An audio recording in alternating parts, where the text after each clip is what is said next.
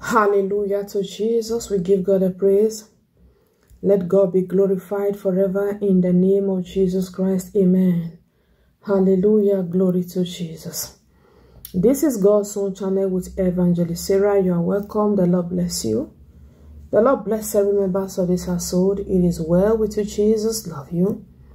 And I love you. Please family like this video, share, subscribe, tell somebody about this ministry. God bless you as you do that in the mighty name of Jesus Christ. Amen. Hallelujah. Glory to Jesus. You have been studied enough. Somebody, they have studied you and studied you and studied you and studied you.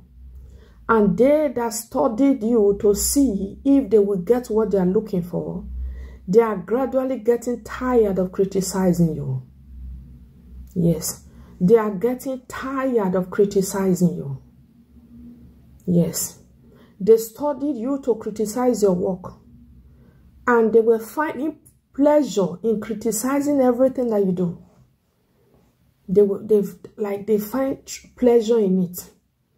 When it is about you, they ah, it is about how let's do it's about him or let's you know. The way they take your matter, they don't take other people's matter like that. The way they criticize your work, Everything you do, they always have, they must find fault. Mm, that is the word that we are.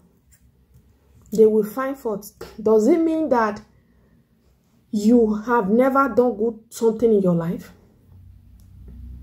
Let's even think that, okay, you have done some things that were not very beautiful, fine. But does it mean that you have never done good something? You have done good things. But those things are not seen at all. But even the good things are still being criticized. The good things are still being criticized. Even your understanding is being criticized. Your quietness being criticized. Your talking being criticized. Like, what will you do? Should you stop existing? Because of their criticism, no? For if the Lord be for us, who can be against us? You are not going to stop existing so that they will stop for them to...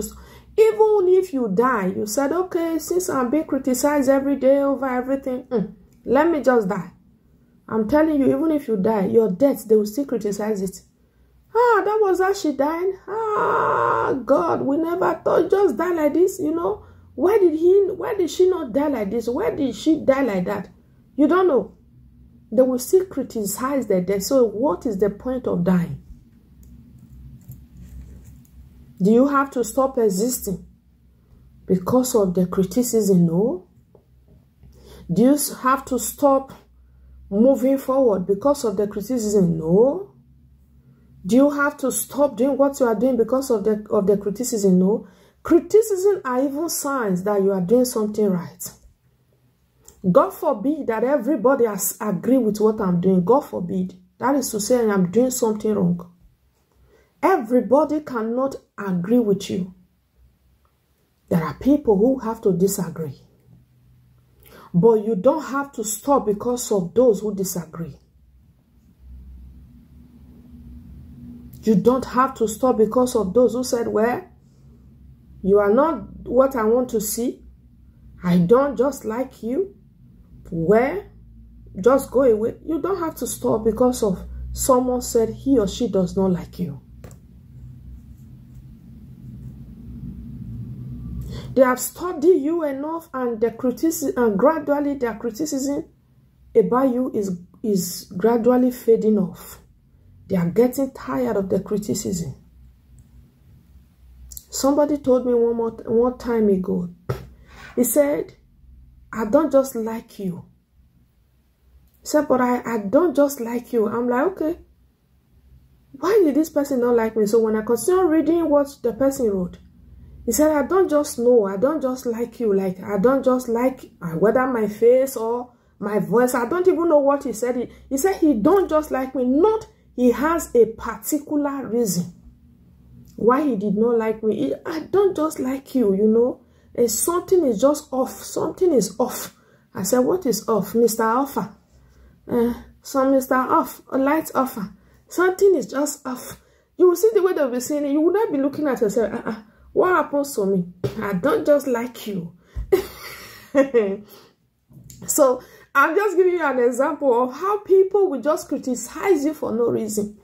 And the person was not having a particular reason like, okay, what you said, I did not agree, or this prophetic word, oh, it is fake, oh, it is real, or, or maybe your face is not good. Or he said, I don't just like you, something is off. I said, okay, Mr. Offer.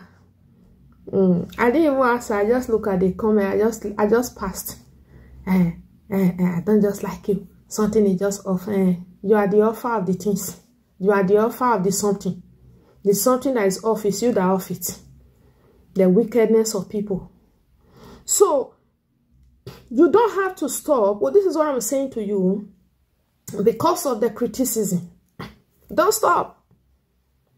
You don't have to stop existing because somebody does not just like you.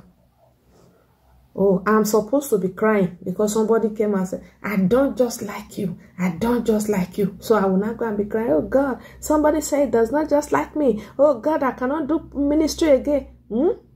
What is that? So I should stop existing because you don't just like me. Not that you have met me before, I've offended you, I've not said anything that wrong the person. You, so I should just uh, stop existing. Can't you understand? This is a world where people are just looking for anything at all to criticize you. Anything. Anything. Anything at all. Criticize.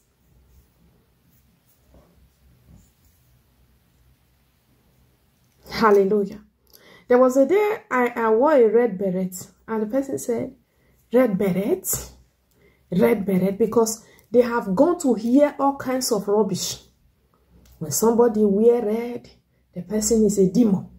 When person wear yellow, the person is possessed. When person wear white, the person is a saint. When person wear black, the person is a demon. I'm like, when did clothes now become how you know somebody that is a demon and somebody that is not a demon? Oh, you are wearing a beret. Hey, I said, what is wrong with people? they studied you enough and gradually they are getting tired of the criticism. The criticism is fading off. Yeah. The criticism is fading off because you will not stop existing. Child of God, how do I say it? Let me shout it like this. You will not stop existing. Oh because of those who are criticizing your work. You will not quit. You will not quit because of those who don't just like you. You will not stop being you because of those who find needs not to see reason with what you do. The people you see today that stand in the pulpit praying for you and praying with you and jumping up and down. You see some pulpits, you see some pastors when they are praying, they are jumping, jumping, jumping.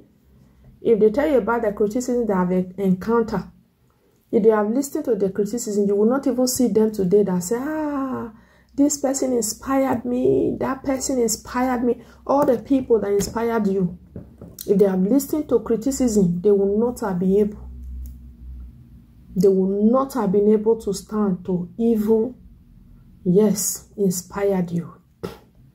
The criticism will fade away. You will get to you will get used to the to that life. When you see criticism, you will just see it as if it's a normal thing in your journey. That is to tell you that it is fading away. It no longer affects you.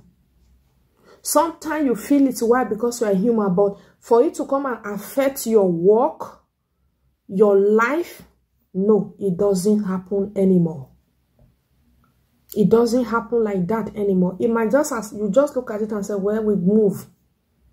We move forward. We move forward.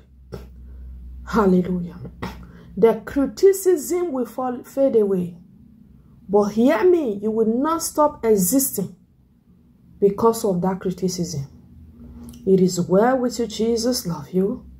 And I love you with the love of Christ. I remain your sister, Evangelist Sarah, by the grace of God.